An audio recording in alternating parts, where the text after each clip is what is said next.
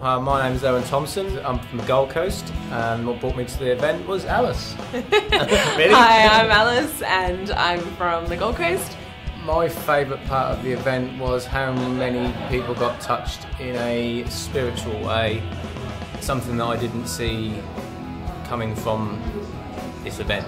Yeah, so that was a really, a really good touch. Apart from all the other amazing things that actually happened, that was a, a really, a really grounding thing to come from. So that's great. Yeah. Uh, the final session by Stuart was just amazing. So, so, so incredibly moving and touching, and um, and something that we'll be able to take away and really action.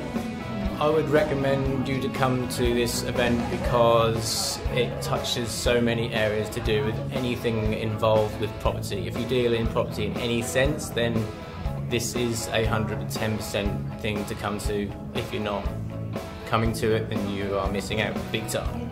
Yeah, and I, I, I agree as well. So I recommend anyone come to this. Um, incredible opportunity in terms of the business, but also mindset and and goals and direction and focus and limiting beliefs. So he touches on so much more than than, than what is originally stated in the in the advertising materials. So yeah, amazing. Awesome.